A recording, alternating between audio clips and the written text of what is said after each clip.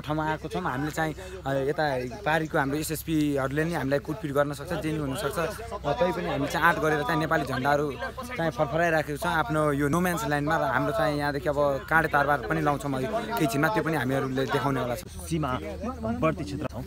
युवा आफ्नो पिलरलाई माया गरिरहेको छ।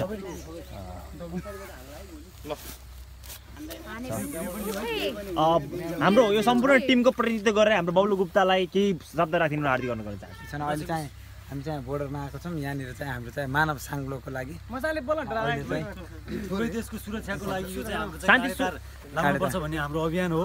यो चाहिँ सामूहिक अभियान यो भारतीय अभियान पनि हो नेपालीको अभियान पनि हो। भारतबाट जुन सीमाहरू मिचिएको थिचिएको छ यो सीमाहरू यसरी नमिचियोस् भन्ने हामी सबैको धारणा रहेको छ र हामी काँडेतार पनि अहिले तत्काल लाउँदैछौँ। र अहिले चाहिँ यो नेपालको झन्डा मात्रै प्रदर्शन हो। यो बोर्डरमा एकछिनपछि हामी काँडेतार पनि लाउँदैछौँ।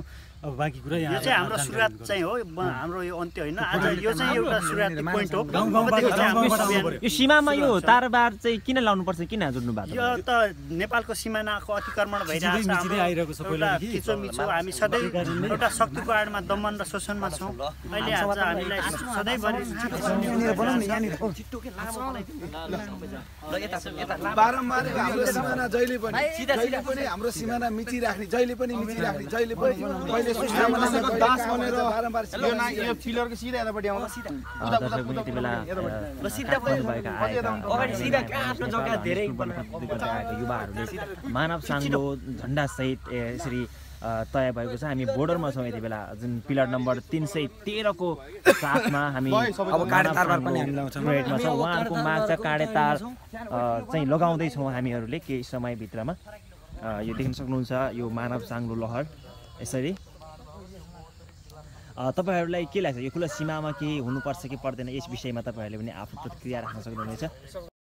नमस्कार छ यति बेला हामी मर्तरीको शम्सी बोर्डरको छेउमा आएका छौँ भारत र नेपालको पिलर नम्बर तिन सय तेह्रमा हामी आइपुगेका छौँ हाम्रो नेपाली युवाहरू यति बेला सीमाङ्कन विषयमा विवाद रहेको कुरालाई लिएर हाम्रो सीमा र मातृभूमिको मायाको र समस्याको लागि हामी त्यहाँ भारत र नेपाल सीमामा रहेका मूर्तिहरूको अवलोकन गरिरहेका छौँ।